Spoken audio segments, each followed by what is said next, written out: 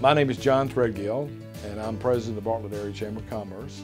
Well, Bartlett is uh, the 10th largest city in the state of Tennessee. Our entry into the clean energy arena basically started with a phone call from an existing member saying that they had a new corporate policy to practice clean energy.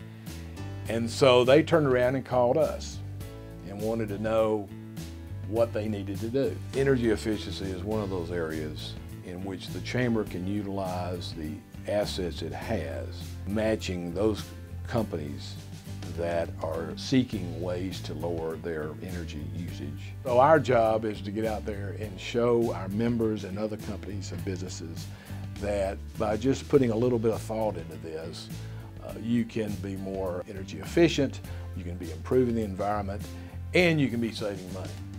And the truth of the matter is, the bottom line is what drives everything. It drives the economy, and it drives energy efficiency and resource efficiency. There's a food processor here in Bartlett that makes a very popular product, and it's, it's, it's snack foods.